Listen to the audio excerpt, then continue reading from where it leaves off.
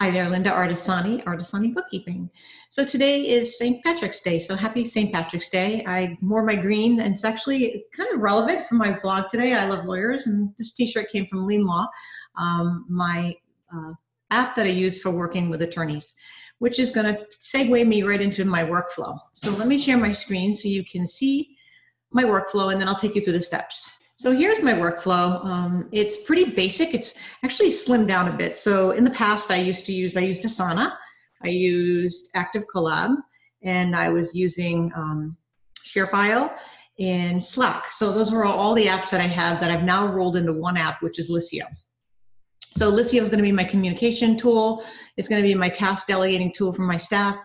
Um, it's going to be really nice. It's a real quiet space for you to use communication with your client and store all the files together. So it's kind of an all-in-one. It's kind of like having your little file drawer, right? And put everything in one spot. So um, I love the term, and we just did a, a, work, we just did a webinar with them uh, Friday, and I'll put a link in my post for that as well. Because the key with Liscio is it's a highly secure place to communicate with your clients. So you'll never have spam, and you'll also have a place where you can keep files safe um, which is really important in this day and age. Uh, that's why I paid extra money for ShareFile was because I've always, and I've had it for years, because it, it was a way for me to keep my um, communication with my clients, have them secure documents, right? With being an accountant, you have a lot of secure documents that you exchange with your client, and this is going to be a place for that. Um, also, the other part of my workflow is here's my law firm, this is my client, and they're going to be putting their um, billing information. They're going to be billing their clients, so their customers will live in Lean Law, and they will keep their track of their matters, keep track of any monies that um, you know anything they need to charge the client or billable expenses their time when they're doing their billable time if they have billable time in their firm so that'll be done in that in that app they'll upload those billable expenses to HubDoc. So HubDoc is my document exchange uh, place. It also brings in my bank statements and credit card statements. So it's a great place. In HubDoc, I'll code and then mat- and put the matter on the bills. And if they're billable, I put them in the advanced client cost asset account. And then, well, that will automatically push into QuickBooks. The best part about that is when it's in QuickBooks, we have a two-way sync with Lean Law, and then it will actually sync back up to Lean Law. This bill that I've entered will sync back up to Lean Law so that when the billing time comes once a month to bill the prior month to the client, it's going to see that bill and all the details on it, and it will be there for a, a, draft bill, which I can produce for the client, or they can actually create themselves, see what the bill's going to be like before they send it to their customer. The other piece in this toolbox is LawPay. So now LawPay works with QuickBooks, and, and yes, QuickBooks has its own merchant service services um, section. I used to always use it. And LawPay is the replacement for that for your trust and IOLTA accounts because it's the only credit card processing company that accepts payments with in compliance with the ABA and the IOLTA guidelines. And all the other ones don't do that, even Intuit. And the best part of this is you can set this program up to work very similarly with as Intuit does with their automated invoicing. There's a little catch. You have a one more step, but to stay compliant, it's worth the one more step. And also, it saves you a ton of money because the rates are lower than what Intuit will give you for your um, credit card processing. So you can use both. Um, you could use Intuit's for charges that aren't matter. Um, that aren't related to trust accounts or IOLTA accounts. You can use them for like straight up billing uh, for legal services. But if it's something to do with a matter or anything to do with those two bank accounts that are, you have to be very compliant and strict about making sure that the details are exact. Then I would suggest using LawPay. And if LawPay's got a lesser fee attached to it, a lesser processing fee, then why not use LawPay for everything? Um, I also recommend Intuit Full Service Payroll. The payroll is built into the system highly recommend it. It's very easy to use, easy to set up. Especially if you work through my team, I have a I have an amazing I call it my superstar team that helped me set up my um, my payroll. So that is my basic steps of my workflow. And now I'm going to take you over and show you and demonstrate to you what that's like. So here we are in Liscio, and Liscio is um, a beautiful, clean, simple app, which I really which I really like about it. It's got places in here for your accounts. Those are your customers, right? For me, my customers. So any law firms that I work with will be housed in here and is accounts. And I'm not going to show you because I've got my account set up in here, but you can see here that this is where your clients would be would be stored. Um, contacts, all your email contacts would come in here. And I was real careful about pulling in just my contacts from my my um, staff and with my uh, actual business people that I work with. Tasks, we're going to be able to generate the tasks for your staff to work on the jobs for the clients. Um, and then the home homepage, pretty simple. Um, it'll show your tasks and things you need to do, and your inbox is all on that as well. So a very simple, clean page. I just want to give you a little short picture of it. I will give you a link to an eye-opening webinar we attended on Friday with Gina's SBAA. It was really informative about how, especially it's specifically talked about law firms and how even the, especially the smaller ones that I work, I tend to work with the you know solopreneur or the maybe the solo plus one.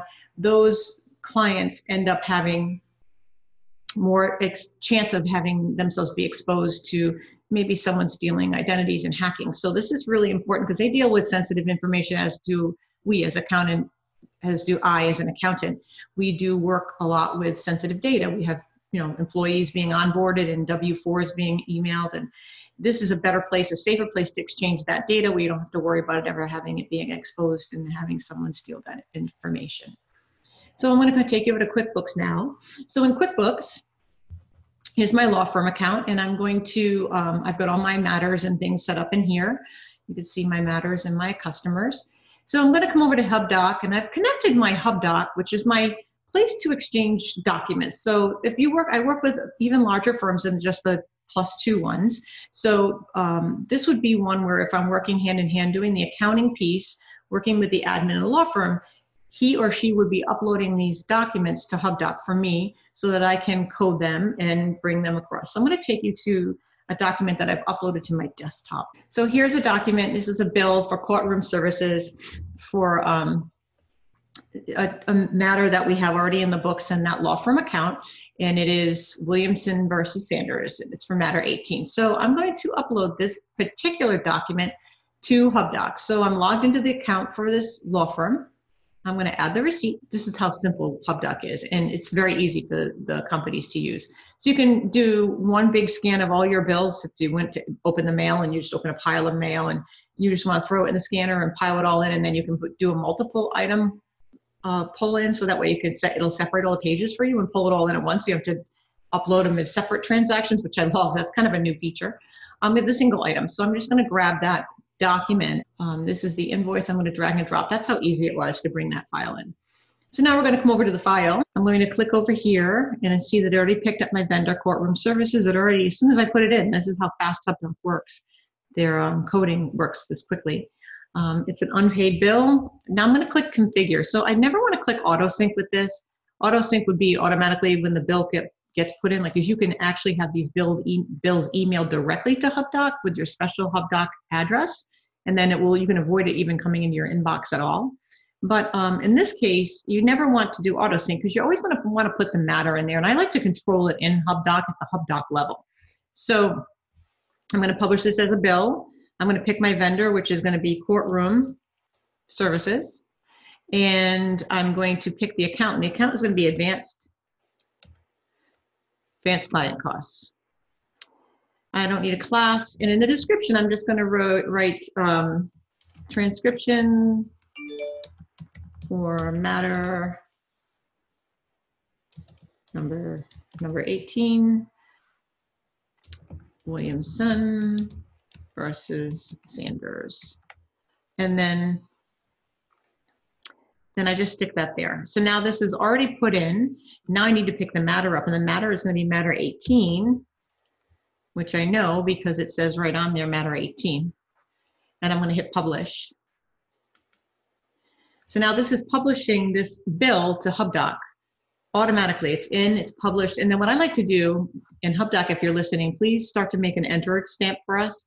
So what I do is now that I put that in, I put a hit paid and that puts a ribbon on it so I know that that bill's been paid. So as I go through the list, I always put the paid. Even after I've reconciled the bank account, I'll put paid. So that way it's in there. So I'm going to come back over to Hub uh, to QuickBooks and you can see the last thing that was entered was this bill. And there it is, courtroom services, Williamson Matter, it's already in there. Now we're gonna switch over to Lean Law and now I'm in Lean Law, I'm in the law firm account. So let's go over to expenses and see if that expense has been pulled in out of QuickBooks. So there's a two-way sync.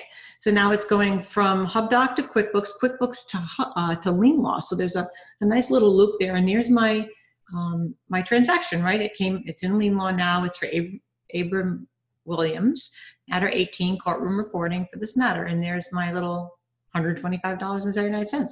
So there it is. Um, it's in inside the program. So now if I wanted to bill uh, Mr. Williams, I can create a draft invoice just for him. And I select both because you can see that the, the expenses are here. I create the draft invoice, and this is going to create a draft. You can delete it if it doesn't work out for you. And now I have a draft of this invoice. Now if I come over to drafts, let's take a look at it. Now you can see here, here's my draft invoice. I had a phone call for him and I had a court reporter from the case that we have. So there's the two items here. I'm going to approve and submit this. And it says submit invoice to QuickBooks. I say yes. This is how wonderfully smooth and automated this system is. Now I'm going to come back over to QuickBooks and just check to see if that invoice is now in QuickBooks because now I've invoiced my client, right? So I'm going to invoice out of my QuickBooks. I'm going to receive my payment. Here it is. I've invoiced this client. You can see the billable expenses here. The total bill is 350.79 everything worked beautifully. So how wonderful is that? Now, if I want to receive my payment, that last piece would be LawPay. Now, I don't actually have this trial company set up to LawPay, but I'm just going to take you over to that window. So it's a pretty cool uh, system, and I have links into into my blog post about this. It looks like Cinda's joining me now.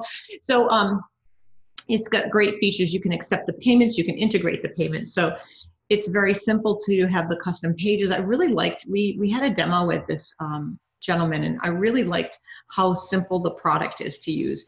And the integration is pretty neat. You can put it right on your default template so that the client can, um, once you send the invoice, they can log right into this page and click the link and get, get to this page and pay their bill. So it was really simple, but the best part is the compliance piece, right? And you can do recurring billings with it um, client signatures. It's, it's just got so much. And the best other piece of this is the pricing.